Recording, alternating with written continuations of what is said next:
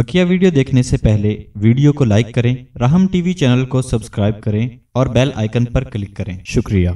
जी जी शहजाद न्यूजीलैंड से क्राइस्ट ये आ, सवाल पूछना था तस्वीर से मुताल्लिक के मलिक शीबा ने जब ख़त मिला उसको हज़रत सुलेमान अलैहिस्सलाम का और उसने अपने मुशीरों से पूछा तो मुशीरों ने जवाब दिया कि ये कोई ज़बरदस्त बादशाह लगता है।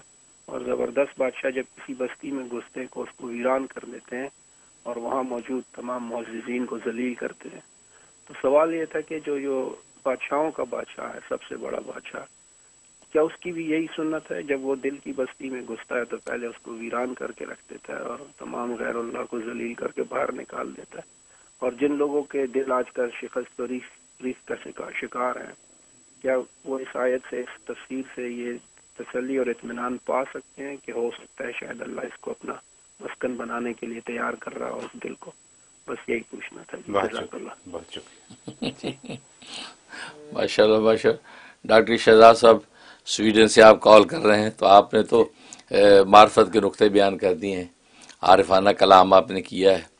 तो बिल्कुल इसमें शक नहीं है कि आपने जो है वो दुनिया के बादशाहों का जो तर्ज अमल है उस तर्ज अमल से आपने बादशाहों के बादशाह पर कयास किया।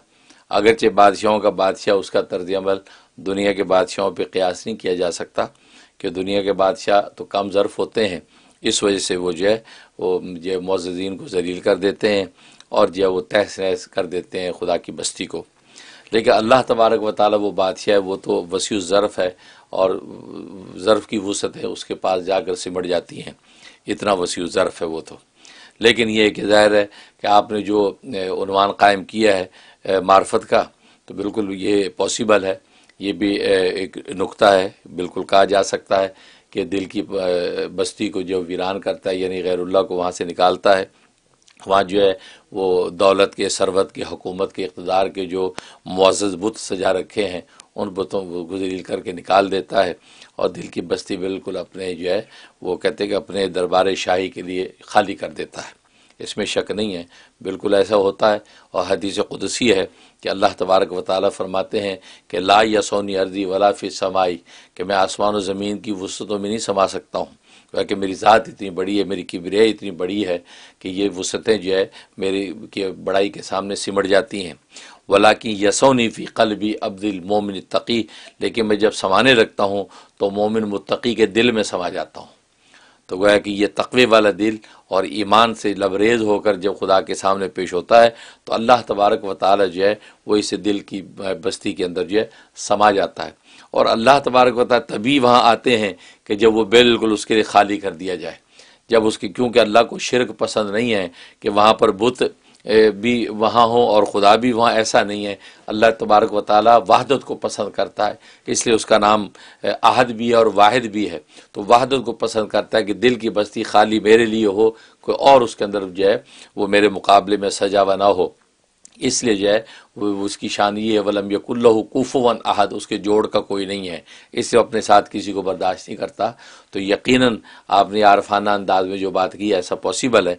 तो जिस वक्त वो प्रोसेस चल रहा हो और शखीस तो रेख्त जो इंसान के कलब के अंदर हो रही हो तो हाँ ये समझा जा सकता है, बशर्ते कि उसके ज़हरी अमाल शरीयत और तरीक़त के मुताबिक हैं और ताल्लुक़ माल्ला उसको नसीब है।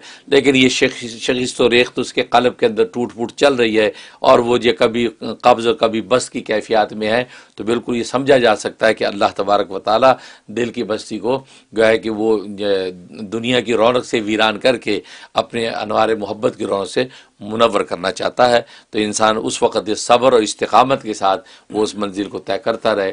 इन बात वही है कि बस चला चल क़त राह इश्क अगर मंजूर है, ये ना देखे हम सफ़र नज़दीक है या दूर है, मुश्किलें आशिकू हैं, बस कबल अज दीवानगी, कुछ दिनों गम सह लिया, फिर उम्र भर मसरूर है। गोया कि शखिस्तो रेख्त का जो ज़माना कुछ दिनों का, वो बर्दाश्त आपने कर लिया, और बेचैन होकर आप खुदा की मोहब्बत के दरिया से बाहर नहीं कूद गए तो इन अल्लाह तबारक वाली उसके अंदर गोता जन करके मंजिल अता कर देगा। वाह वाह अल्लाह, बहुत खूब।